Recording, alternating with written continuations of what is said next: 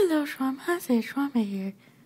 It has been a while since I've done these reading putty series, but now I'm up to date. By the way, happy hump day. Oh, wait, it's not hump day. It's Tuesday.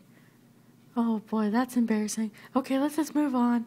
This is a book called What Makes You a Superhero, and I apologize if you cannot see all the words. Okay.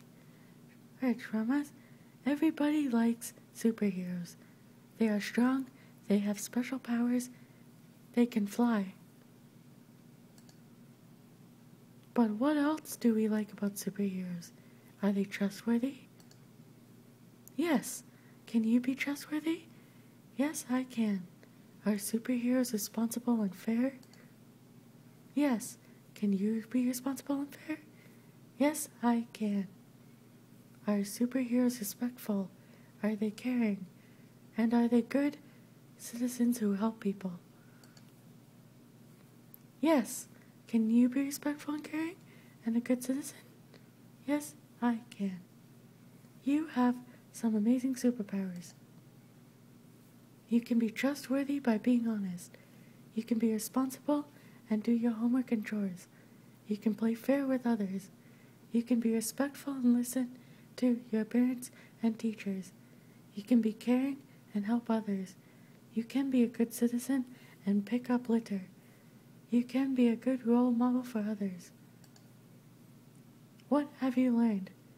Oh, these are the questions. Discussion questions. And there's four of them.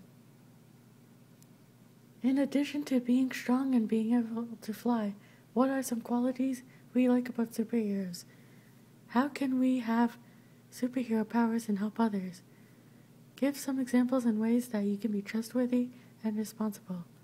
If someone is not playing fair, how should you solve the problem? Remember, being trustworthy, responsible, fair, respectful, caring, and a good citizen helps make you be a superhero. No act of kindness, no matter how small, is ever wasted. And the end. I hope you Shawarmas enjoyed that. Hopefully I can find another book to read online.